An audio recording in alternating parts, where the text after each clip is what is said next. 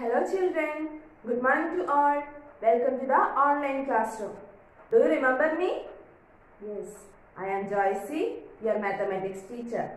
Children, today we are going to start our new lesson. Do you know the name of the new lesson? Yes, addition up to 20. This is our sixth chapter. We have learned the numbers up to 20 in the last chapter. Before starting the new chapter, we are going to count the numbers from 0 to 20. Will you count with me? Okay, let us count 0, 1, 2, 3, 4, 5, 6, 7, 8, 9, 10, 11, 12, 13, 14, 15, 16, 17, 18, 19, 20. I told you today we are going to start our new lesson addition up to 20. In this chapter we will learn how to add two numbers up to 20. We already learned how to add two numbers up to 10. Tell me children, what do we mean by addition? Yes, addition means putting things together. Do you know the symbol of addition? Yes, the symbol we use it for addition is plus. We know addition means putting things together. Here I have four sketch pens and two sketch pens. How will you find out the total number of sketch pens? Yes, if we put these sketch pens together, we will get the total number. That is, we will add. We learn addition means putting things together. Now, we put the sketch pens together. Let us count. Yes, 1, 2, 3, 4, 5, 6. There are 6 sketch pens in my hand. So children, for getting the total number, we will add the things or add the numbers. Okay? Here you can see two big chocolates and three small chocolates. How will you find out the total number of chocolates?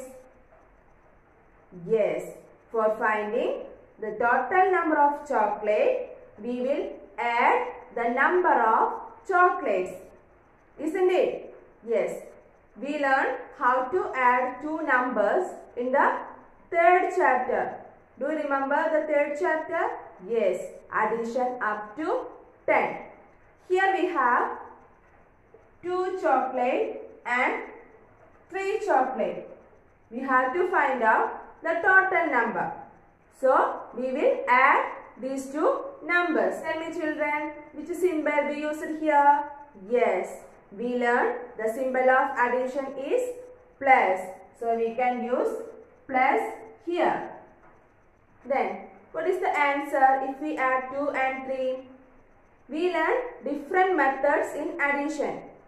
Addition by counting, vertical addition, addition by counting forward, addition on number line, etc. Here you can count the chocolate. 1, 2, 3, 4, 5. There are 5 chocolates. So we can write 2 plus 3 is equal to 5. Do you know what is vertical addition? Let us listen. We have to add 2 plus 7. In vertical addition, we will arrange the numbers one below the other. Then, how you find out the answer? For finding the answer, we can draw vertical lines. The first number 2. So, we can draw 2 lines. The next number 7. So, we can draw 7 lines. 1, 2, 3, 4, 5, 6, 7. Then count the total number of lines. 1, 2, 3, 4, 5, 6, 7, 8, 9. So our answer will be 9. In this way, we can add numbers by drawing lines. Can you add the same numbers by counting forward method? We know how to add numbers by counting forward. For that, we will keep the bigger number in your mind and take the smaller number in your hand. Here, which is the bigger number? 7. And which is the smaller number? 2. So, we can keep the number 7 in your mind and take the number 2 in your hand. Then count after 7. That is 8, 9. So, we will get the answer 9. So, we can write the answer as 9.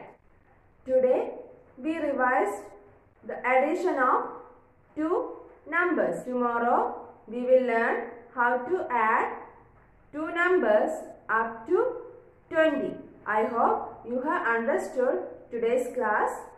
Practice well and study well. See you in the next class. Till then, bye.